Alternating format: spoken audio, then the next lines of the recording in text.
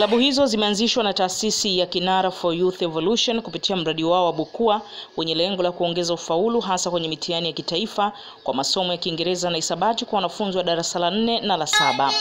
Wakizungumza katika mashindano yaliyofanyika shuleni hapo na kuhusisha shule za Chamwino A na B, Jitegemee na Kambarage zilizopo manispaa ya Morogoro, wanafunzi hao wameeleza jinsi wanavyoweza kujifunza kwa kujiamini na kusoma lugha hiyo kwa ufasaha. Kwa majina anaitwa Jacqueline Fredi, natokea shule ya msingi Jitegemee darasa la saba. Mm, kwa siku ya leo kwanza naiona ni nzuri sana kwangu kwa sababu imeweza kuniongezea vitu na imeweza kunipa maarifa mengine.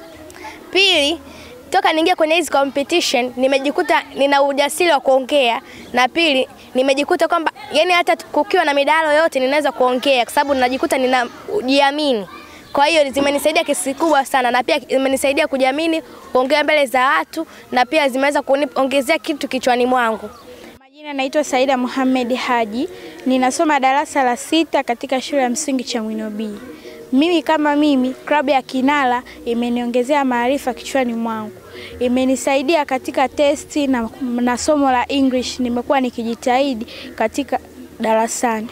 Aidha, meneja mradi wa elimu kutoka Kinara for Youth Evolution kupitia mradi wa Bukua Bi Agnes Irambe ameeleza namna mradi huo unavyoweza kuwabadilisha wanafunzi hao. Dhumuni kubwa ambayo imetupelekea mpaka kujikita zaidi kwenye somo hili la Kiingereza, kwa sababu tumeona kwamba Kiingereza inakuwa kidogo ni changamoto, hususan kwa shule zetu za serikali, kwa wanafunzi wa shule za msingi.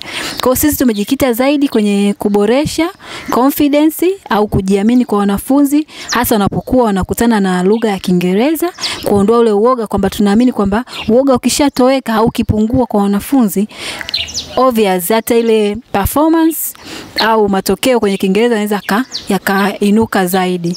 Na kwenye mashindano haya tumeweza kufanya, huu ni kama mwaka wa pili. Tunafanya mashindano haya kwenye shule zetu nne za msingi ambazo tunatekeleza mradi wetu, na tumeona mwitikio ni mkubwa, kwa sababu tukiangalia kwamba awali ilikuwa hata tukifanya ile mashindano tunajikuta tuko tuna wanafunzi ambao wako kwenye mashindano ambao wanawakilisha shule zao, lakini hivi sasa tunaona kabisa kwamba hata wanafunzi wengine wako interested, wanavutiwa kuwasikia wanafunzi wengine wanaongea nini.